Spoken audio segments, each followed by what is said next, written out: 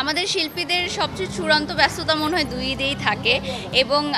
ঈদকে ঘিরে সবসময় আনন্দের পাশাপাশি আমরা যেহেতু কাজকে অনেক বেশি ভালোবাসি, তো কাজের মধ্যে থাকাটাকেই অনেক বেশি পছন্দ করি। এখন মডেলিং ও নাচেরও অনেক শো হচ্ছে বাট যেহেতু আমি এখন